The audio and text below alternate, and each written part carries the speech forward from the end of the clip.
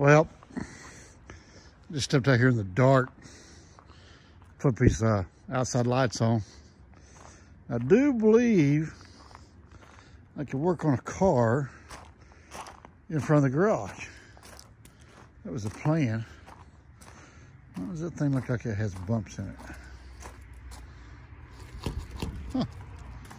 Weird. Yeah, it does look, it's got, oh, it's, I don't know. Maybe it's a light. Could be, it could be light reflection. It definitely looks like uh, sections.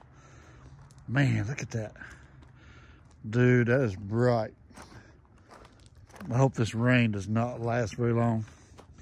I cannot afford the rain. I got to move dirt, not mud. Wow, dude. Just wow. I can see that trash. Light so bright, I need some shades. Ain't that right? Dude, I absolutely love it.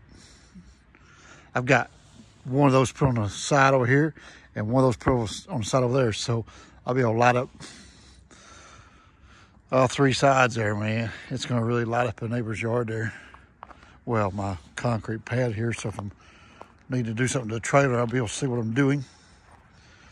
Man, that is just fantastic, dude. Those are hyper lights as well.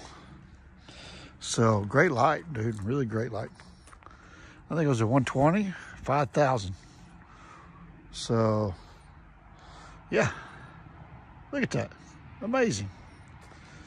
Absolutely amazing. The little Honeywell light, I got to go up to the very top. It's only like 3,000 lumen. So just be like a nice light glow out here all night. Stuff.